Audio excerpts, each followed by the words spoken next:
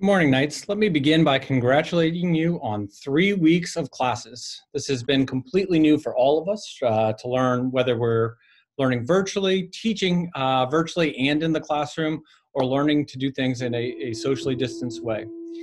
What I want to say is we are so proud of you for these first three, three weeks, but I also want to make you aware that if you're struggling in any way with your faith, with anxiety, with relationships, or with academics, we're here to help. So going to briefly go over our academic probation. And the real goal about our, of our probation program is to get you help as quickly as possible um, so that if you have tripped over a hurdle at this point in the year, we get you back on track uh, for the rest of the year. Um, so without further ado, let me share my screen and here we go. So our whole goal here is to give, to give you uh, as much support as we can.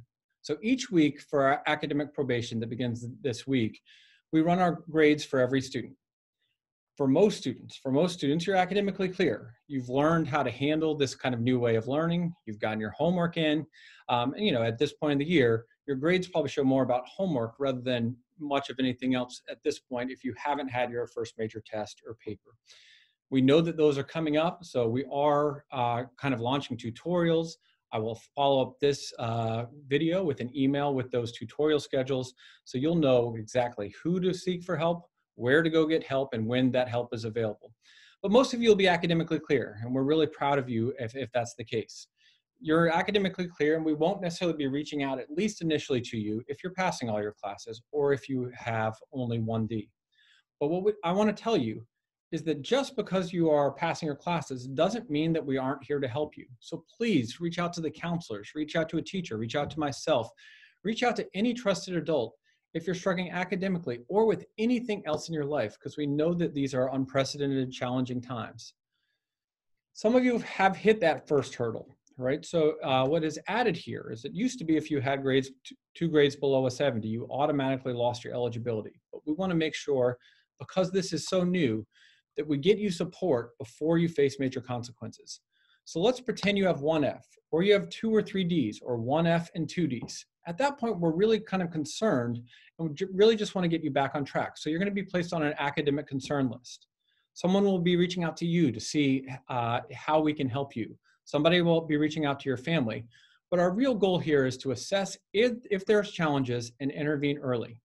You can be on this list for two weeks uh, in a row or three weeks across the semester. But if we see much more than that, our concern is that there's habits that we need to work on and habits that we need to shift. So that brings us to academic probation. And at this point, you still are eligible. You'll be, we're going to create an individualized contract with you. We're going to have strategies for how you're going to work at home, how you're going to balance out your work. But basically, you're going to kind of create with a counselor a contract um, that is going to include things like you're going to go to specific tutorials at specific times. You're going to agree to get your work in. You might have back work that you need to complete. And we'll figure out kind of a support system for you. So regular check-ins with people. This lasts for four weeks, uh, kind of no matter what. And if you re- meet your terms of your contract, we believe that your grades are going to go up, you're going to build stronger relationships, you're going to get the help you need, um, but you will stay eligible for that play practice or for that sports practice that is so motivating to you. If after the, if however you have two Fs or four more Ds, or you haven't met the terms of your uh, academic contract, at that point you'll become ineligible. And we really need you to focus on academics first so there aren't long-term consequences uh, to kind of falling down a hole. So we're gonna get you that help. You're gonna be in daily tutorials. Uh, you will at this point be ineligible for practices, for games, for, for performances, because for two weeks we need you to focus uh, kind of full tilt on your academics. Hopefully at this point you're bringing up your grades, and so we'll be able to offer you probation or even more ideally you're clear.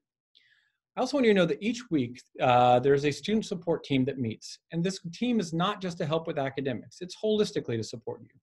So there are kind of our counseling team, our student support coordinator and school counselors who are going to be there to help uh, coordinate and manage plans for everything related to anxiety, to struggles with faith, to academic struggles, to struggles at home, to struggles with your relationships or just you need feel like you need additional support. So we have our student support coordinator as part of this team. Our school counselors are, are, part of this team.